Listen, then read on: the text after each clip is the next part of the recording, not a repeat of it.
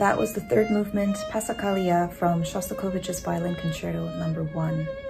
It's probably one of the most beautiful, vulnerable, heart-wrenching movements of any concerto, and for me, it's really the heart of this piece. The concerto takes us on an incredibly emotionally profound and complex journey across four movements, and I look so much forward to performing this together with the New York Philharmonic and Maestro Dima Slobodeniouk.